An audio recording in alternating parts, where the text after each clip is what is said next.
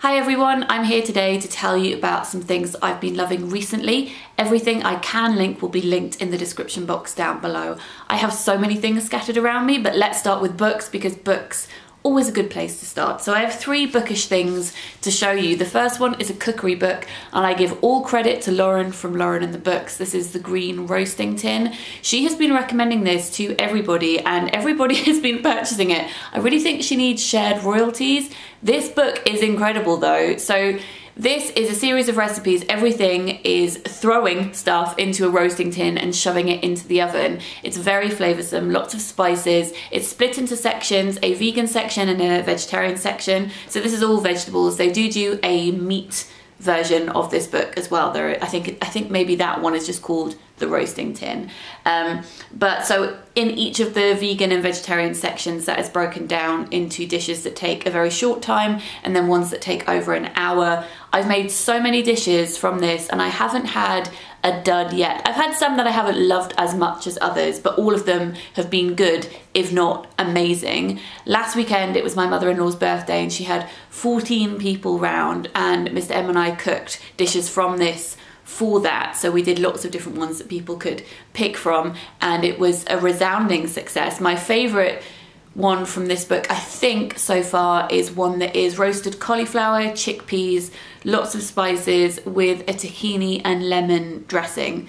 It's great. I'll link this book in the description box down below and thank you Lauren. My favourite novel from February was Lanny by Max Porter. I'm not going to talk about it here because I spoke about it in my wrap up which I'll link up here and down below but it's incredible and I'm also giving away a copy of this book in that video too if you would like to go and check that out. In fact that giveaway closes the day after this video goes up so if you'd like to enter go and leave a comment.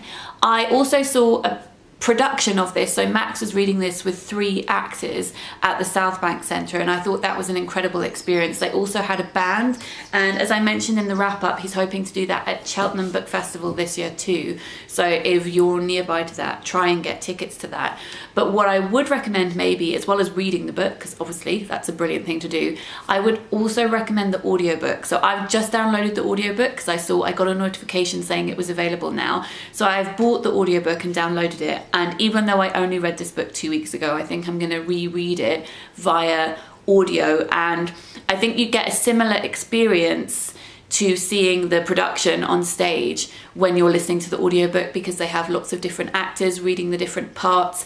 And because of the way it's set out in a series of speeches almost poetic speeches the audiobook I think is going to be brilliant. I've listened to a sample of it and I'm very excited to reread it that way. My third book favorite is my own book. This is my eighth book my debut full-length poetry collection called The Girl Aquarium which is coming out on the 25th of April. I'm counting this as a favorite because it arrived in the post post, my author copies did, and I got to hold it in my hands for the first time, which is always a favourite experience. This is a collection of poetry that looks at bodily difference, queerness, it looks at fairy tales, it looks at girlhood and trauma, lots of things, probably all of the things that you would expect me to write about in poetry book form. I've added three sample poems to my website if you'd like to go and take a look at those to see if you think it might be your cup of tea. If you're in the UK, you can pre-order it at a local bookshop. If you're outside of the UK or you prefer to order online, there are links of where you can purchase the book on my website, so I'll link that in the description box down below. I'm also selling signed copies worldwide on my website too. I'm really thrilled with the way that this has turned out. I love the cover and I hope that you guys enjoy it when it comes out next month.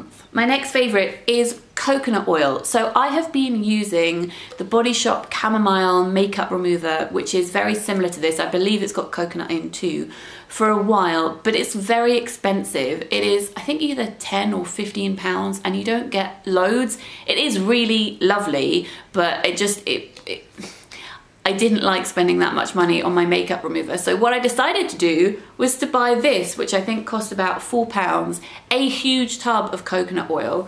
And I've had this for at least a month and I've only just made a tiny dent in it. So I scrape a bit into my hands, warm it between my hands, and then put it all over my face and it melts my makeup and then I take it off with a flannel that has been run under hot water and it has left my skin feeling so smooth. I don't tend to get breakouts too much but around my time of the month I do and I have noticed that I haven't been getting that since using this. So it may be this, it may be something else, but I have been really enjoying loving this and it is amazing value for money. The next favorite that I have, these two candles here, which I got for Christmas from my mum-in-law. So these are candles from Anthropologie. They don't do them anymore, but I think that they are always doing new versions of their candles and all of them smell pretty amazing. Now, speaking of value for money, these are not good value for money. These are expensive candles, but my my hack for you is to check the Anthropologie website in the sales section because they have incredible sales on their stuff. I have bought mugs there that were 15 pounds for two pounds. They sometimes have their candles on sale down to four pounds, which is amazing. So this was Angel Food, this one, but as I said, it's not available anymore, but they always have candles on the go. Definitely check out the sales part of their website.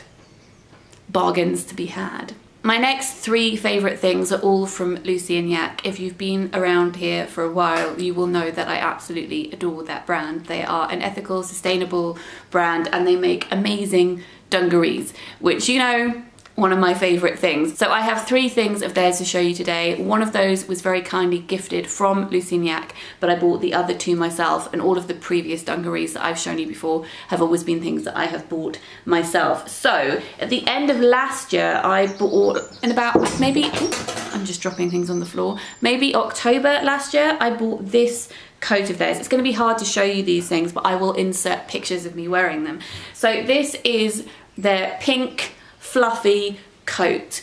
Um, and it is thinner than I thought it was going to be. So I thought this was going to be really super cozy. And it is cozy if you layer it up, but it doesn't have a lining. Um, but it's really, really lovely. And when you do layer it up, it is snug. And I have loved wearing this. It's really soft and it's made from recycled plastic bottles, which is pretty incredible. The next item of clothes from them is the one that they asked if they could send to me and I said, yes, please, thank you very much. So these are their new Atlas dungarees. They're 100% organic cotton. And previously I had only worn their corduroy dungarees, which are super comfortable. These are also really comfortable, but they're a slightly different fit. So here is a picture of me where I tell you what, here's a picture of me wearing the corduroy ones and then here is a picture of me wearing the Atlas ones, so the cotton ones. As you can see, the Atlas ones are even more oversized. I'm wearing a size small here and I'm generally in most clothes sizes, though we all know what clothes sizes are like. I'm generally a size 10, so I'm just mentioning that for context. Very oversized, but purposefully so, and therefore super comfy, and I've enjoyed styling them up very, very much. And then the last ones that I have to show you are ones that I bought myself again, and these are their new brushed cotton high-waisted trousers. Now, I know that this waist looks very, very small, but it is super, super stretchy. These are so soft. I love the check on here as well. And again, they are baggy, but in the right places, so they still have a shape to them. And that's what I really like about the Yak um, brand as a whole. All of their clothes are so comfy. In fact, I think their tagline is something like, if it's not comfy, why are you wearing it? Which I think has become my life motto. But yet they are still fitted and stylish despite being oversized and baggy. So here is a picture of me wearing the brushed cotton high-waisted trousers.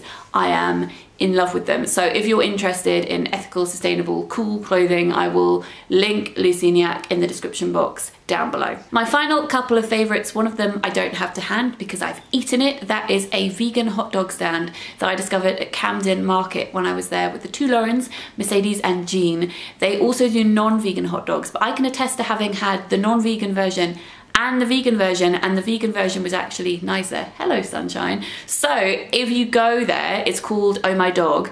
Even if you're not vegan, I recommend the vegan hot dog, absolutely delicious. And my final favorite are these things, which were a gift from Mercedes. They were part of my birthday present. So she got me one of the gift sets from Lush that um, have a bath bomb in it, a mini body lotion and a shower gel. So this is their Sleepy brand. I'm not sure if the, the bath bomb I don't think is called Sleepy. I may be mistaken, but all of them have the same scent. And I don't have the bath bomb to hand because I've already used this, but this has vanilla in it, but the main smell is lavender and it is so lovely. I've bought a bigger version of this to use once this has run out.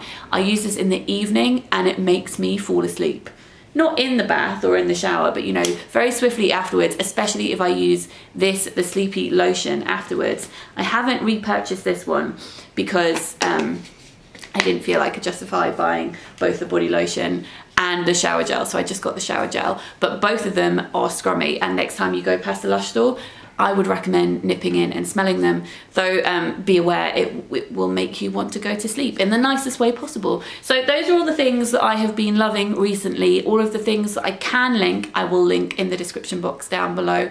What have you been enjoying recently? Please do let me know. I hope you're having a great week and I'll speak to you very soon. Lots of bookish love. Bye.